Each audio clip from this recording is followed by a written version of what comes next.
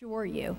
If you're a guest this morning, you probably have received a gift bag, and if you have not, we would very much like to get you one. We, we like to just give you a little bit of information about our church, and we like to get to know you some, so we ask for some back information, that is. And if you would see me at the back of the worship service at the close of the service, I would greatly appreciate that because I'd like to get to know you better. And also on the end of your aisles, you have a black pad, and that is what we call our friendship pad. And I'd like you to take a look at that, write your name or any other information you'd like to impart to us, and then we'll get you counted among us. I'd like to, to draw your attention to a few quick announcements that are in the bulletin. One is there is a membership ex- exploration experience today at 5 o'clock. We will be meeting in room 5. If you would like to just explore what it looks like to become a member of this body of believers here at Christ UMC, please meet us there tonight at 5 o'clock. You could see me afterwards to let me know you're coming if you'd like, but we'd love to get you on board with that. Also, we'd like to let you know that there is a sign up sheet, or not a sign up sheet, but a list menu of sorts of small groups that are being offered around the theme of the story, and you can jump on board to any one of those groups. You could see me as well, and I'll help get you plugged in if that's, that needs to happen. One uh, quick announcement youth group will be starting tonight back up for the fall, and they also will be doing the story as part of the theme for the overall church. And we'd like for you all to just jump on board with that. Please invite friends and neighbors, youth, and we'd love to have you all be on that journey as well. And Kids Club is going to be starting next week. So if you know of a kid or are a kid between the ages of kindergarten and sixth grade, we'd love to have you be a part of that. That will run simultaneously with the youth group, making it very family friendly. But and also we have a small group offered that same night on Sunday nights, facilitated by Pastor David and I. And we have waited for this moment for the kids' books to arrive, and they are here. Yay! And they are on the back table. Tendra has taken orders and faithfully will be distributing those out at the close of this service. So pick up your children's resources. Very, very important because we want the kids to know the Bible as well as the adults, and it's written for their age level. Every age level should be on board with us. Um, and then there's also some small group resources as well. If you have not received your book, we're distributing those through the small groups, but we do have a few extra. So see Donita at the close of the service. She'll be in the back. Now, without further ado, so much going on, let's go to the Lord in prayer. Lord, we do invite your presence more officially among us. And we are so thrilled to be in your house of worship. I pray that not a one of us would leave having not encountered the living Christ. We pray that in Jesus' name. Amen.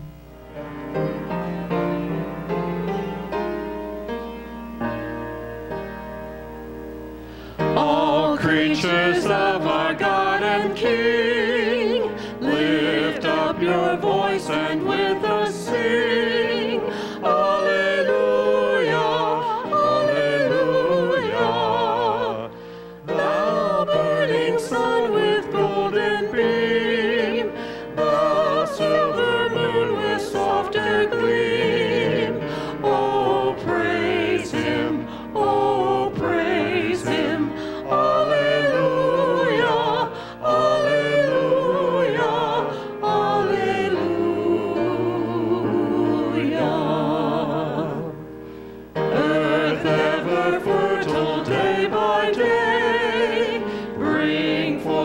blessings on our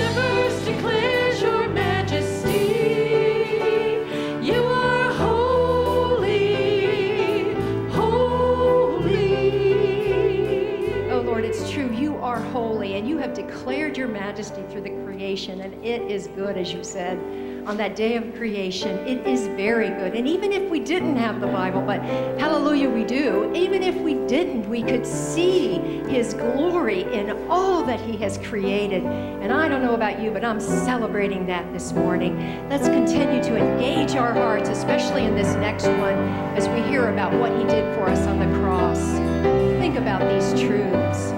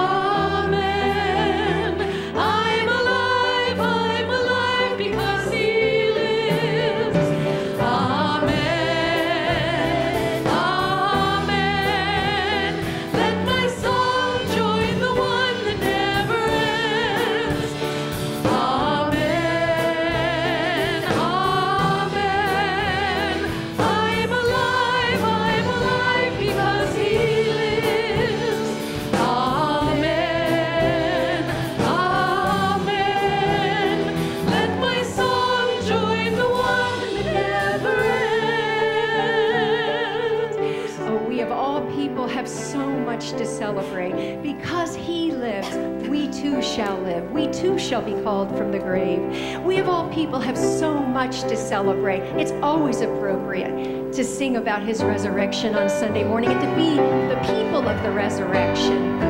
Think about how does his story and our story link up as we sing this next one as well.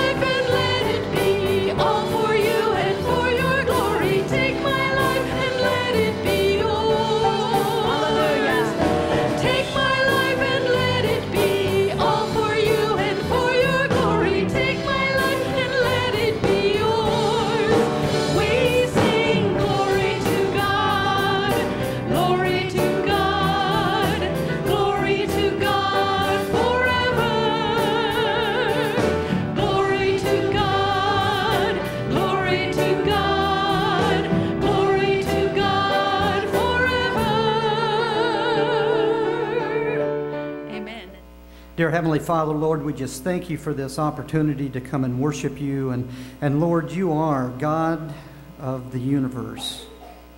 Lord, you are the, uh, the Lord of the heaven and the earth, Lord, and we just give you all the praises and thank you for the many blessings that you have given us. And Lord, please use these offerings to further your church here in Westfield and around the world, and we just give you all the praise. Amen. You may be seated, and if the kids would come forward. Okay, today we are starting the story. You've probably heard about this.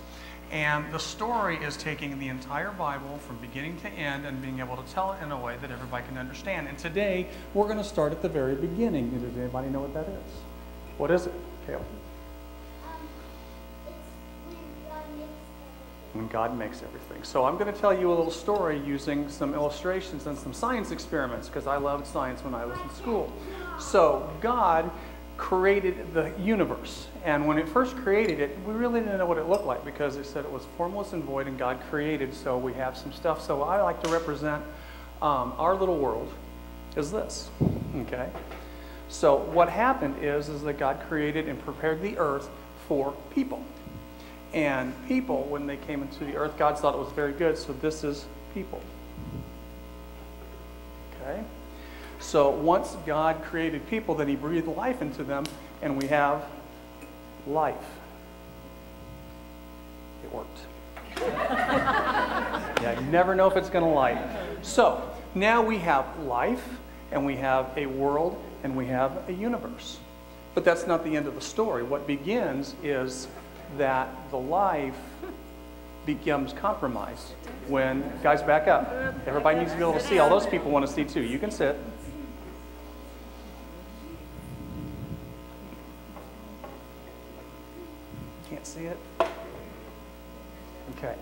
So, what happens is that this evil serpent shows up in the garden and, and tempts Eve to say, hey, you know, God told you not to eat of this, eat of this tree, otherwise you would, you would, you would be, it would be a bad thing. And so Satan comes in and said, that won't happen. Uh, you can go ahead and eat that apple. And as soon as she does, sin comes into play. Now, in science, if you watch the flame,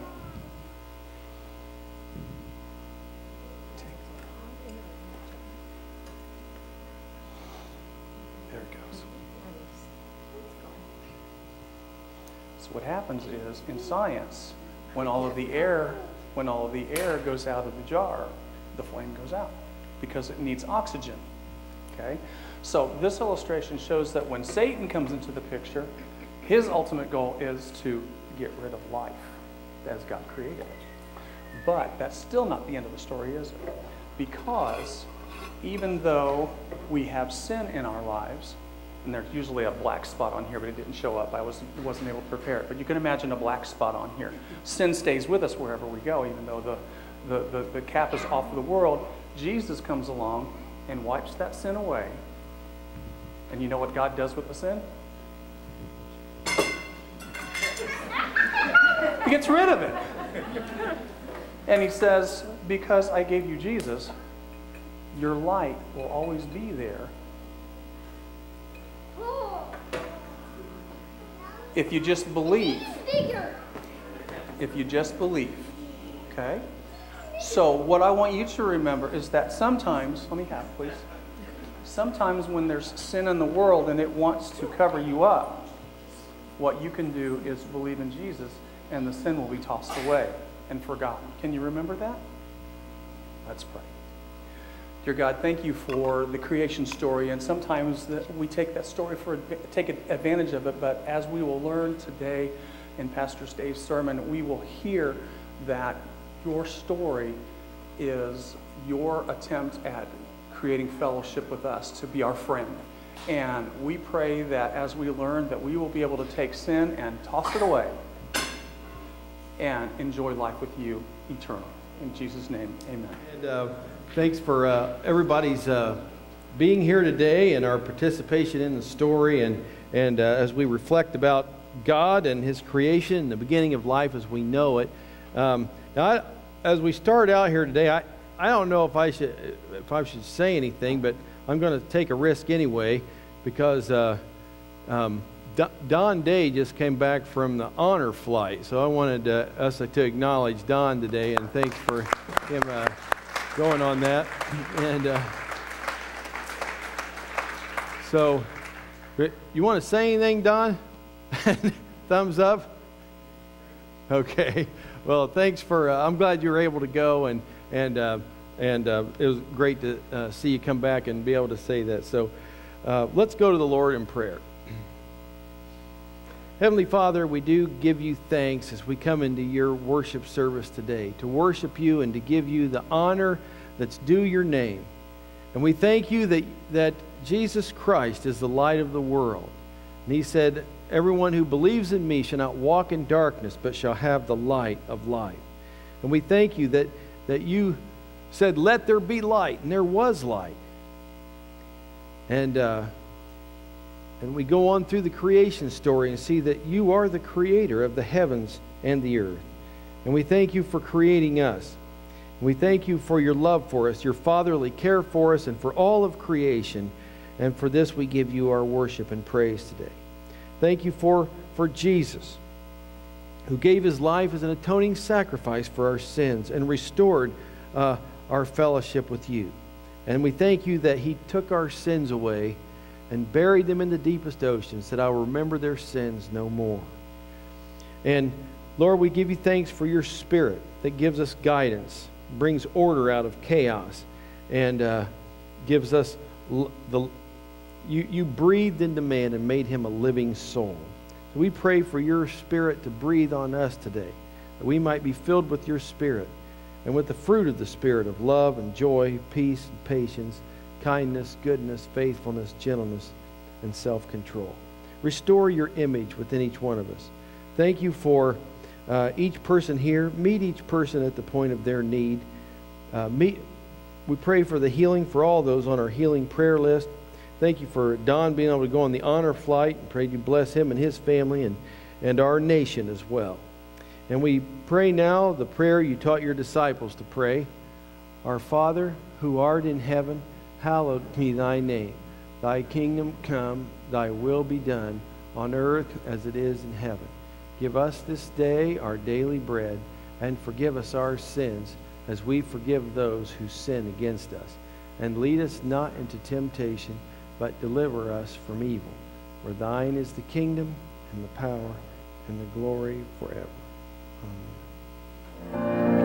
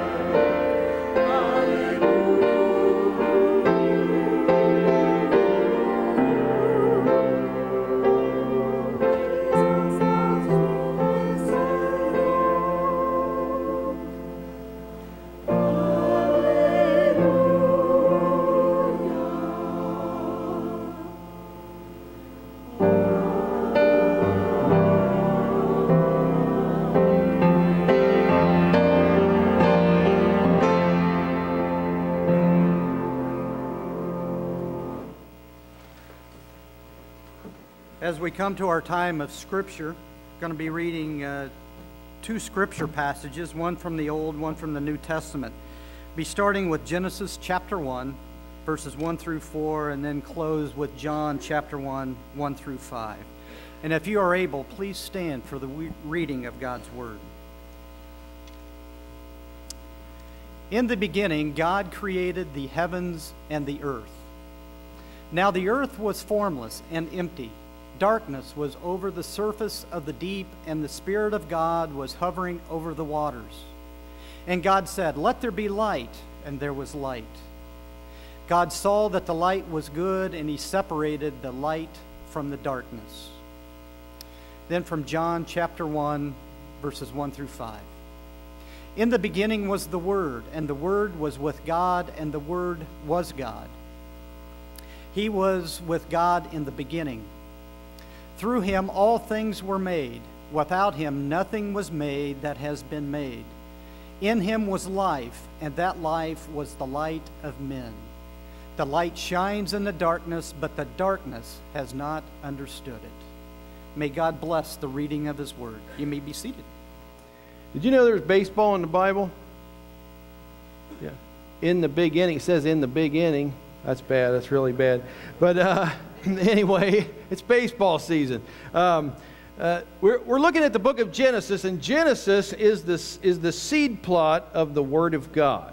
And Genesis, which is Greek, means origin, and the Hebrew uh, word for uh, Genesis is translated in the beginning. So Genesis is the book of beginnings. It is uh, indicates its scope and the limits of the book. It tells us the beginning of everything except God.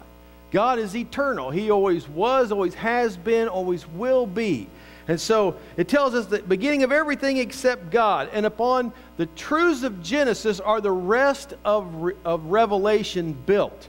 And so without Genesis, our knowledge of a creating God would be pitifully limited and we'd be woefully ignorant of the beginnings of our universe.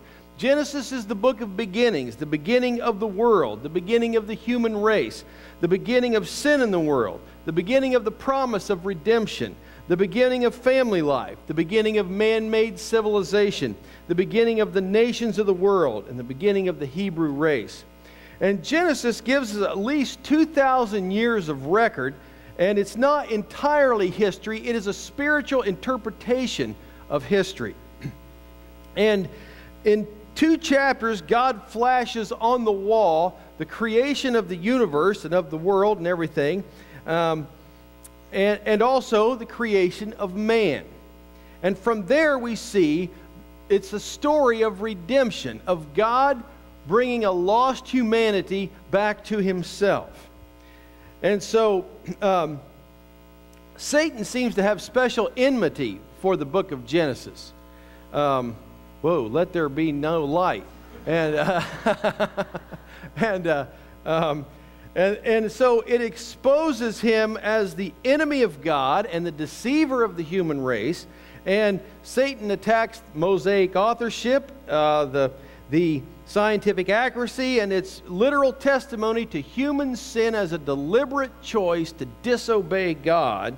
And it's all been bitterly assailed. And the Word of God however, declares that Genesis to be one of the living oracles delivered to Moses.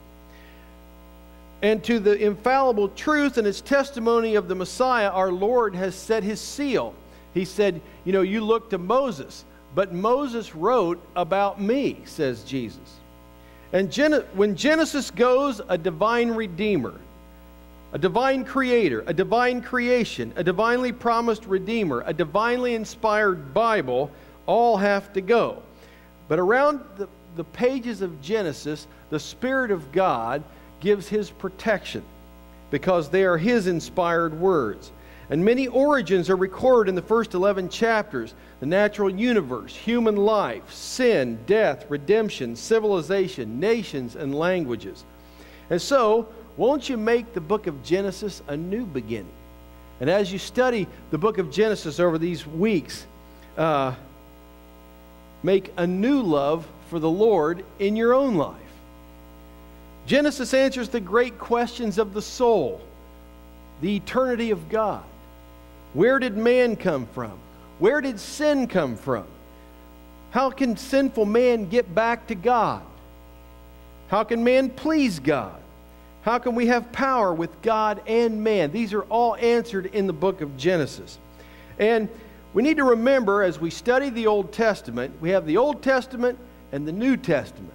And we need to remember that the new is in the old concealed, and the old is in the new revealed. And we'll see Jesus on every page of the Bible. Jesus is the center of the Bible. He is somewhere on every page, and he is in Genesis in type and prophecy. We see the Lord Jesus in type and prophecy in the seed of the woman, in the skins of the slain beast, in Abel's blood sacrifice, in the entrance into the ark of safety, and other places in the book of Genesis. Who wrote the book of Genesis? The, the age long Hebrew and Christian position is that Moses, guided by the Spirit of God, wrote the book of Genesis. Where did he get the creation accounts? Who knows? Maybe Adam passed it on to Seth and on to Noah and all them, and it got to Moses. But the first um, uh, verse of the Bible, untarnished through the ages, is Genesis 1 1. Want to read that with me? In the beginning, God created the heavens and the earth. Now, before we get into the creation story in the Bible, let me give you the creation story of the secular humanists, okay? Okay, here it is. In the beginning, once upon a time, there was a cosmic egg. Where'd the cosmic egg come from? Well, we don't know. Maybe it came from the cosmic chicken. But anyway, in the beginning there was the cosmic egg. What's in the cosmic egg? Well, we don't know, but we think it contains 99.7% hydrogen gas, a little bit of helium, and uh, all the matter in the entire universe is in that cosmic egg. How big is the cosmic egg? Well, we don't know, but we think it's about the size of a period uh, on the printed page at the end of a sentence. All the matter in the universe is in the cosmic egg.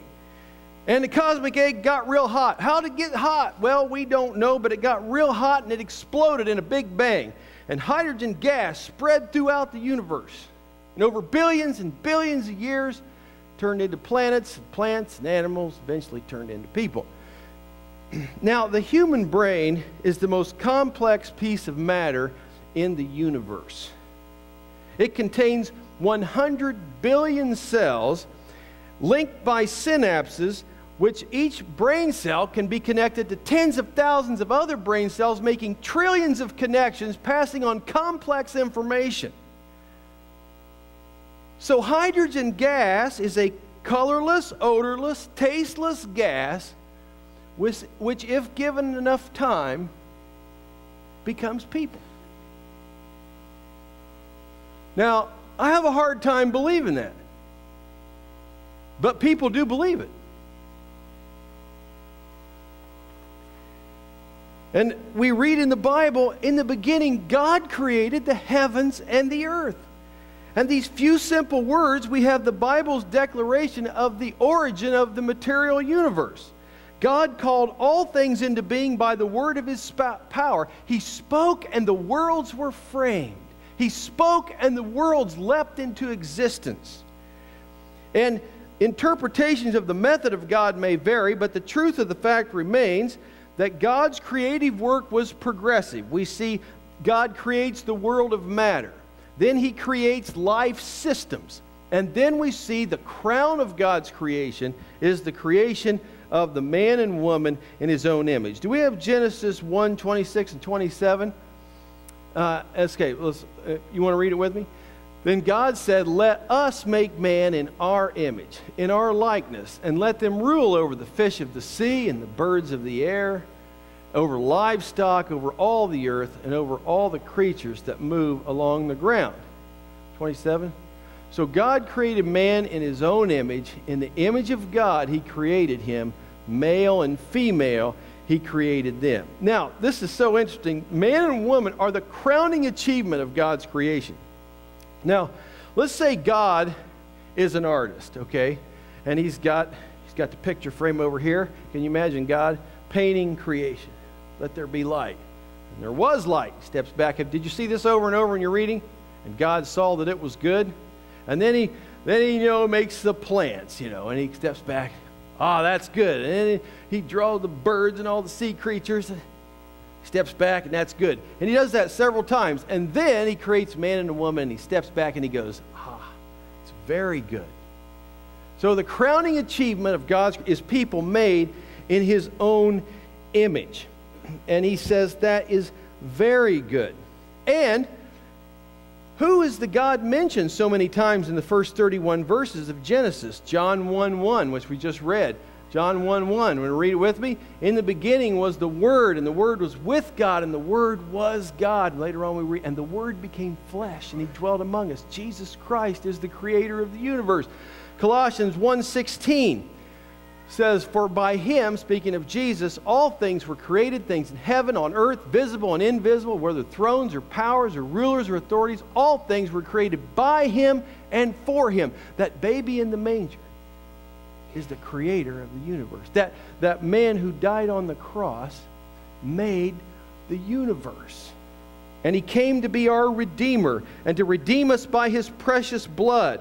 And someone has said that God the Father is the architect of creation, God the Son is the builder of creation, and God the Holy Spirit the beautifier of the universe. And so we see the Holy Spirit hovering over the waters. God is a trinity. He's a trinity of persons. Did you read where it said, God says, let us make man in our image? People would go, when they first read the Bible, go, who's, who's he talking to? Is he talking to the angels? It's a dialogue among the Godhead the Father, the Son, the Holy Spirit. God is one, but God is three. I don't understand it. But, but God is one and God is three. And the first verse of the Bible, you know, it's a trinity of trinities. God creates time, space, and matter. What time is past, present, and future? Space is height, depth, and width. Matter is solid, liquid, and gas. The, this, the stamp of the Trinity, of the triune God, is upon all of creation. He is a marvelous creator. And the key to the Bible is hung right on the front door. In the beginning, God created the heavens and the earth. And we'll never begin to exhaust the truth of this verse. We bring our little teacup minds to this great ocean of truth. And, and you must understand at least part of this. You, and you must believe all of it because it's so foundational to the rest of the Bible. And. Uh, so the first thing we see is a God who is presented. God is not argued or explained. The Bible doesn't try to prove God, the Bible assumes God. Okay? And there are no proofs. God doesn't need any proofs. Sometimes an atheist will come up to a believer and say, I don't believe in God. Prove God exists. And we don't really need to do anything except smile and say, prove God doesn't exist. You know? And, and, um, you see, God doesn't lie in the realm of proof. Trying to prove God uh, only through um, the material world be like trying to dig through a piano to find the hallelujah chorus. You don't prove God, you don't disprove God. You believe in God. And if a person decides not to believe in God, they choose not to believe in God. And in Genesis 1, we also see a God who is powerful. He's the God of all creation. He's the God of all power. The Hebrew word for God created is bara, and it speaks of something only God can do. It says, God created everything out of nothing. Nothing existed before, not time, space, or matter or anything, and God created everything out of nothing. Now, the Latin word is ex nihilo. Everybody say that with me. Ex nihilo. Oh, good, you learned a theology word. God created everything out of nothing. And as we look at God's creation, how amazed we ought to be. Our bodies are made up of 37 trillion cells, each one more complex than New York City. The known universe is more than 10 billion light years across. That means if you got in a spaceship, traveled the speed of light for 10 billion years, you'd only cross the known universe. I mean, from the galaxies to the cell, just in awe of the creation of God. And the complexity overwhelms us. And God spoke it, and it was so. He made it all out of nothing. In a throwaway verse in the creation story, it said, God made the greater light to govern the day and the lesser light to govern the night. And oh, yeah, He made the stars too. People worship the sun. People worship the moon. People worship the stars. They say, oh, God made all that. You should worship God. Now, when I said there's no proofs for God, I didn't mean there's no evidences for God. You see, if someone sees a watch, they probably assume there's a watchmaker. You know? Let's say an engineer observes creation. What does he see or she see? Order, complexity, beauty, and design. You think there might be a designer? And third, we see the God who is purposeful. He had reasons for creating the heavens and the earth, and we don't have to guess what they are. He created everything for His pleasure. And He created things for His praise. So the trees lift their leafy arms and say, Praise the Lord. And the, uh, the, the billows of the ocean, they, they move back and forth and they say, Praise the Lord. And, and God made you and me to praise Him as well. And God created all things for his people. He made all good things for our enjoyment. You know, Christians are boring, they don't enjoy anything. God made all good things for our enjoyment. And so, uh, Genesis 1 1 also presents the God who is personal. God is a spirit. He also has the characteristics of personhood, intelligence, emotion, and will. And he's not some impersonal being or force. And when it says in the beginning, God, the word is Elohim, it's a Hebrew word for God. Uh, he created the heavens and the earth. And it's made up of two compound words El, which speaks of God's strength and unlimited power. And the last part of the word means to keep a promise or covenant. So you put them together, and God's name means the God in whom nothing is impossible and who always keeps his word. Isn't that great? And this personal God has chosen to reveal himself to us. God has given everybody an innate sense that somebody probably made this world. You know, they're probably. Yeah. And and God has sent Jesus to earth to reveal the Father to us. And the Bible also speaks of God as a faithful creator. He's not just going to create the world, fling it out into the universe, and let it go. No, He made it, and He's going to care for it.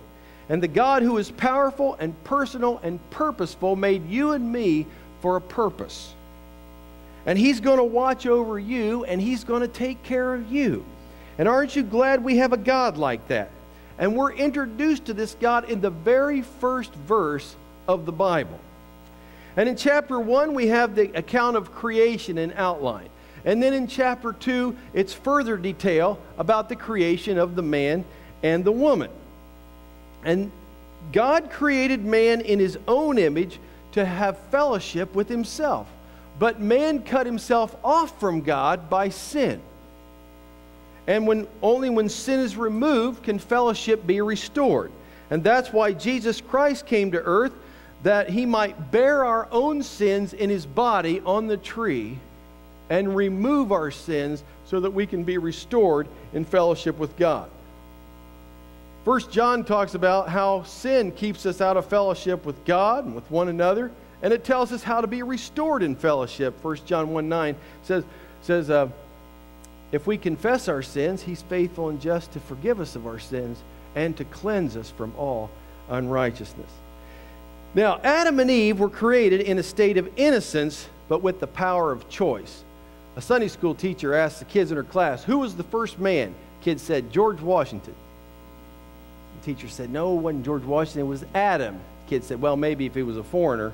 Well, anyway, uh, Adam and Eve were created in a state of innocence. With the power of choice, they were tested under the most favorable circumstances. They were endowed with clear minds pure hearts, and the ability to do right.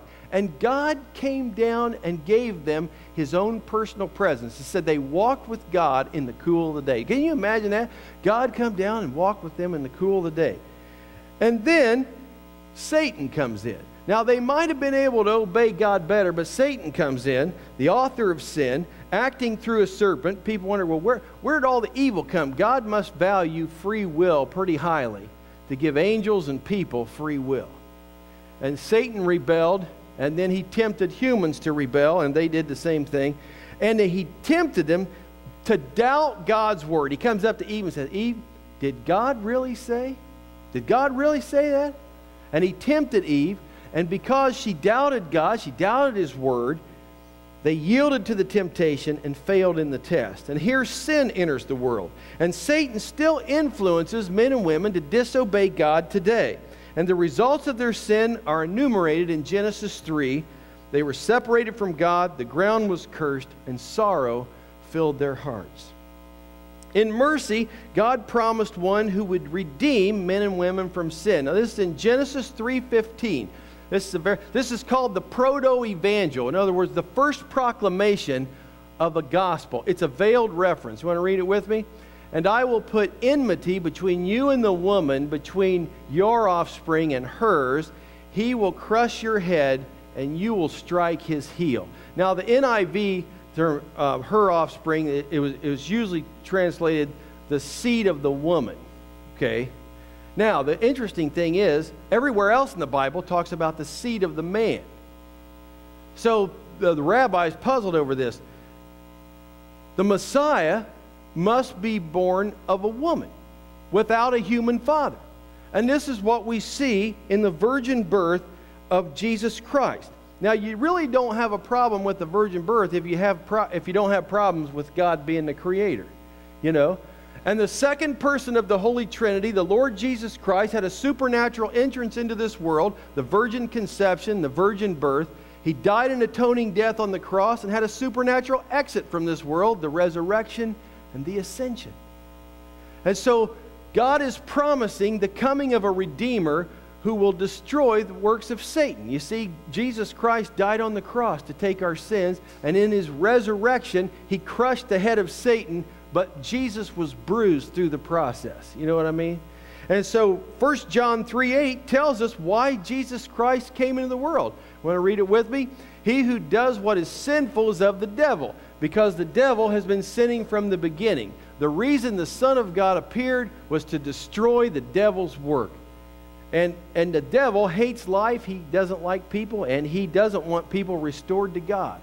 And so uh, Christ came to destroy the works of the devil. Now, in Genesis 3:21 contains a picture in miniature of the whole plan of redemption for man through the shed blood of our substitutes. The coat of skin could not have uh, been obtained except through the death of an innocent victim. And it shows us that, that there is no covering for sin except by the blood. So Genesis 3:21, want to read that with me? The Lord God made garments of skin for Adam and his wife and clothed them. Okay, so what we have here is a picture of what Christ did for us.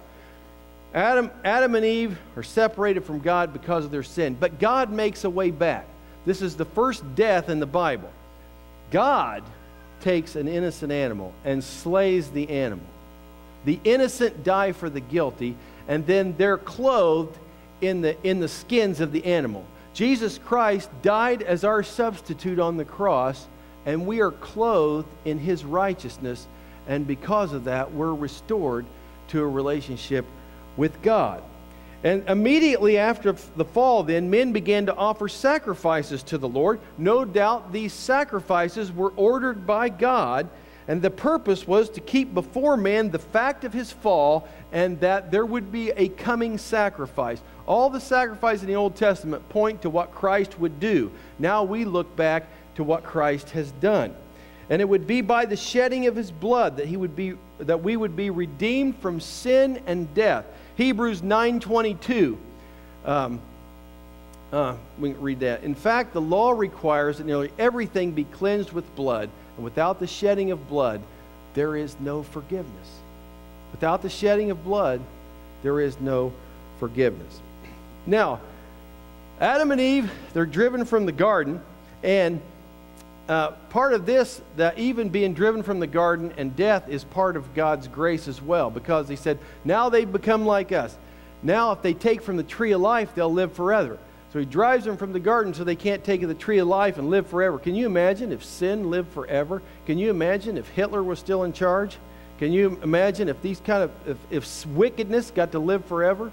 But because of death, sin has a limit. Anyway, um, um, Adam and Eve have Cain and Abel, and, and, through, and then uh, They brought their sacrifices to the Lord.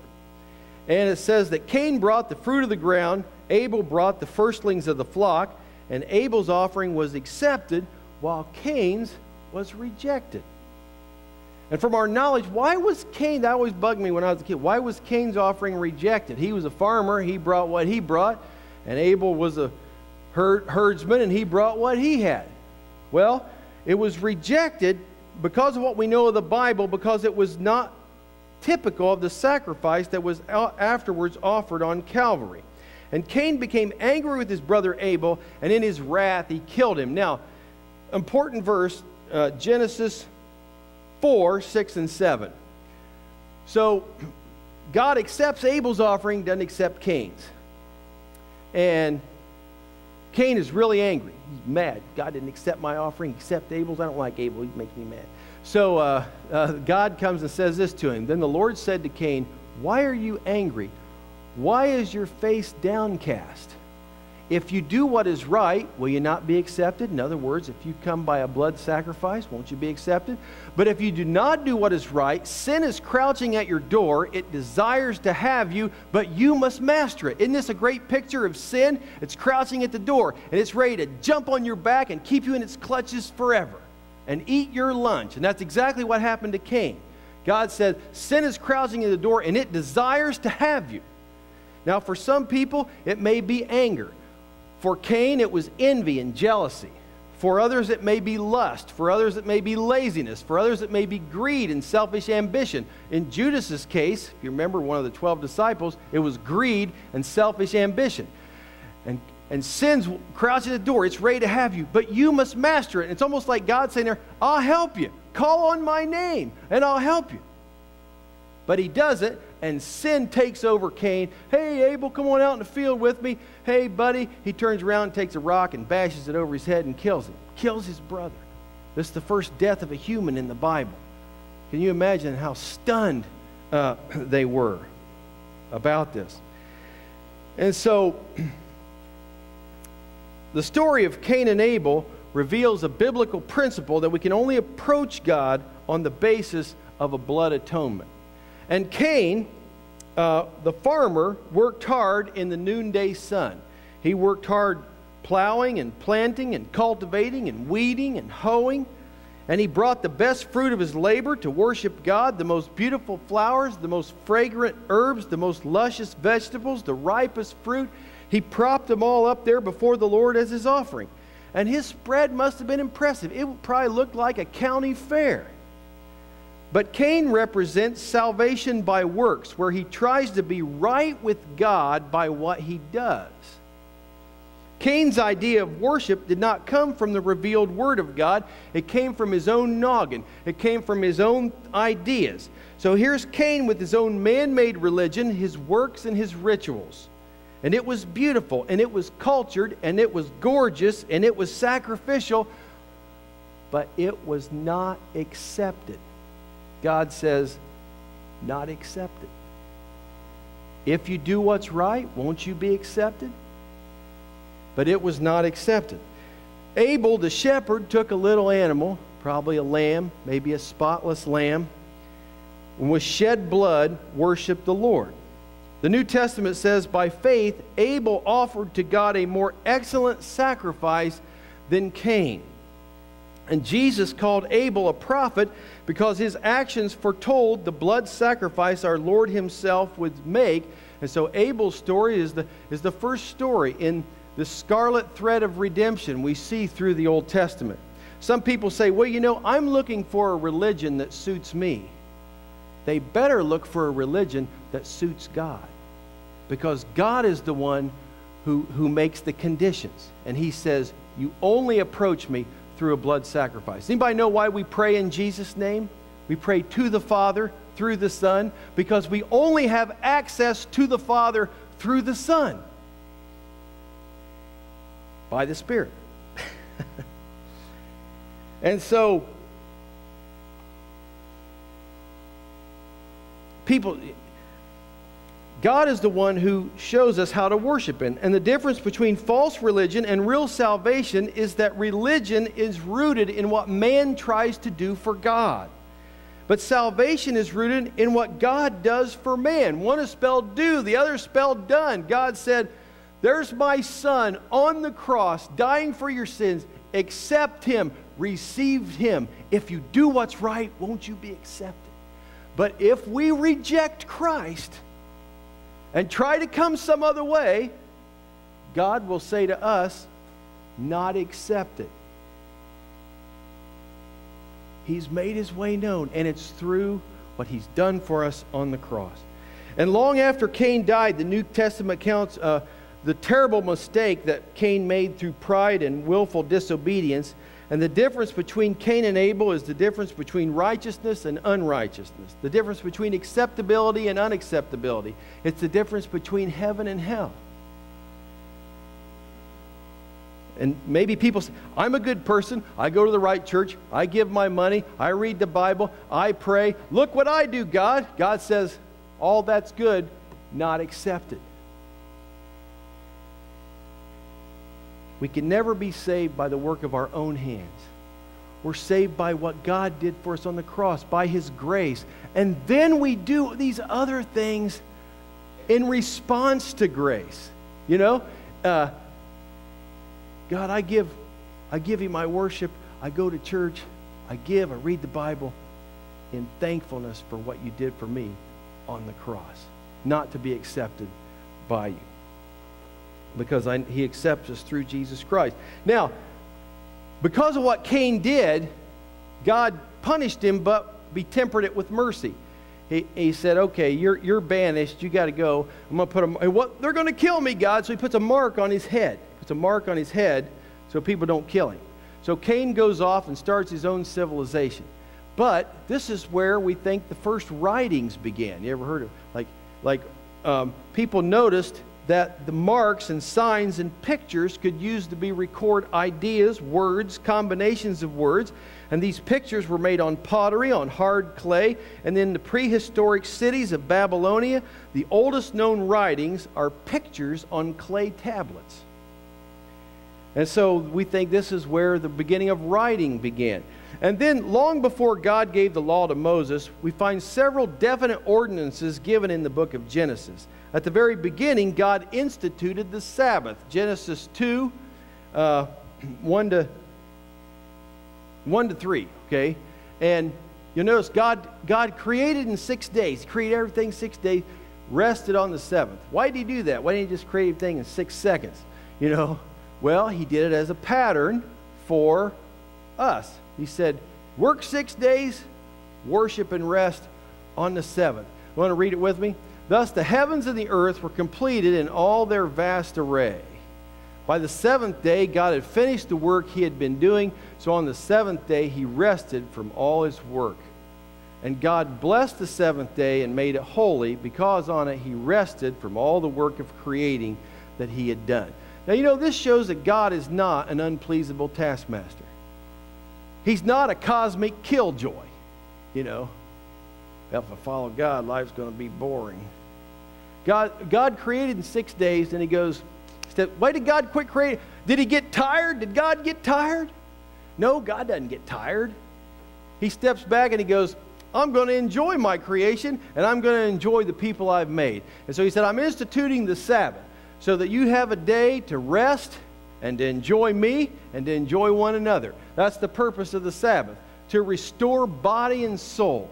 And, God, and, and Jesus said, God established the Sabbath for man.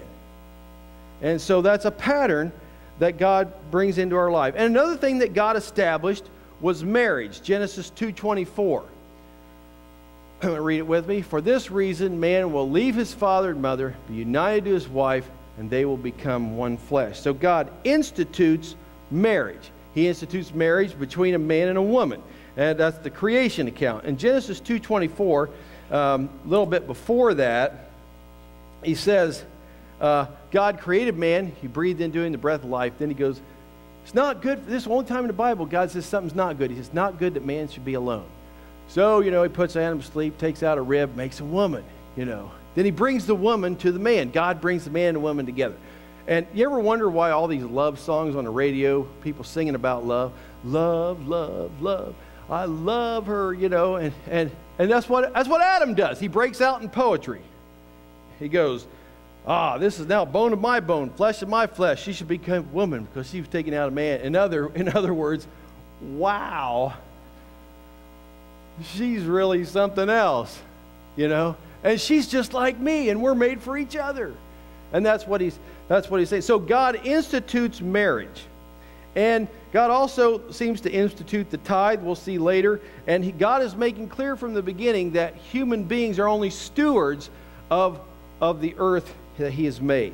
Now, if we go on, the civilization before the flood is called the antediluvian civilization. It perished in the judgment of the flood and was a civilization started by Cain. Now, these early people before the flood were not mere savages. They were, had, had a considerable degree of civilization, and everything in the material civilization is touched on in Genesis. Before the flood, there were herdsmen, there were musicians, there were artists and manufacturers, there were builders, and the civilization founded by Cain may have been equal to that of Greece or Rome. We don't really know, but God's, God's judgment was upon it. And so then we get into the account of the flood, and evil had grown rampant throughout the earth, and only one righteous person remained. His name was Noah, and God sent the flood to restore good upon the earth. And Adam and Eve had yielded to an outward temptation. Now, because of the broken image of God, we're made in the image of fallen Adam. People are given into their inward uh, temptations from within. And Genesis 6, 5, and 6. Uh, you want to read it with me? The Lord saw how great man's wickedness on the earth had become, and that every inclination of the thoughts of his heart was only evil all the time. And the Lord was grieved that he had made man on the earth, and his heart was filled with pain. You see, this shows God is not an unmoved mover, that he cares, that, that he was grieved, and his heart was filled with pain. These people are so violent and wicked and everything, they forgot about God, they don't care about God. So God calls Noah, and oh, Genesis uh, 6 8, we ought to read that one. Genesis 6 8, but Noah found favor in the eyes of the Lord. Another version says Noah found grace. It's the first word for grace we see in the Bible. Noah found grace in the eyes of the Lord. He was blameless in his generation, which was pretty wicked. So we don't know how good how good he was, but he was good enough for God to say, you know, hey, look, um, the earth is so wicked, I got to start over, but I'm going to start with you. So Noah, start building an ark. Can you imagine a guy building a big boat out in the middle of Iowa or somewhere? This guy's crazy, nuttier than a fruitcake. And, and uh, God had been long suffering, his patience with men. The Holy Spirit had striven with them. And Noah, while he built the ark, preached for 120 years God's going to bring judgment on the world. Get on the ark, it's the only safe place. God said to get on the ark. And uh, even after Noah and his wife and three sons and their wives, taking with them two of every unclean animal, 14 of every clean animal, they entered the ark. There was a respite for seven days before the flood. It's almost like God's going, seven more days. Get on the ark. People say, oh, the God of the Old Testament, he's mean. He doesn't have any patience at all. Do you think 120 years waiting for people to repent is long suffering, patient? Noah's saying, get on the ark. But God's mercies were refused, and so men perished in the flood. And Noah was saved from the flood by the ark. And this is a type of Christ. Christ is our ark of safety. As all the people who were on the ark were saved, all those outside the ark were doomed to the flood waters of the judgment of God. And God's saying in our day, come to Christ. He is the ark of safety. When you come to Him, you enter into a relationship with God and you're safe. Otherwise, outside of Christ, you're under the judgment of God. Now, the interesting thing to me is, is it says in the Bible, in the NIV, it says, and God shut them in. Other versions say, and God closed the door. So it's not up to me to close the door. I don't think anybody is beyond hope until God closes the door. It could be by their own hardness of heart they've rejected God. It could be at the second coming of Christ when it's all over with. It could be at their death. But it's never over till God closes the door. And God closed the door, and the flood came, and Noah and his family were safe in the ark. And after the ark, after the flood waters seceded, uh, the, um, the ark landed on Mount Ararat, Ararat and, uh, and, and Noah erected an altar to worship God, made sacrifices to God. They were pleasing to God. And after God saves us, we should worship God. We should worship Jesus Christ for what he did for us. And we should worship and give God honor. And God put a rainbow in the sky as a covenant saying, I'll never destroy the earth by a flood again.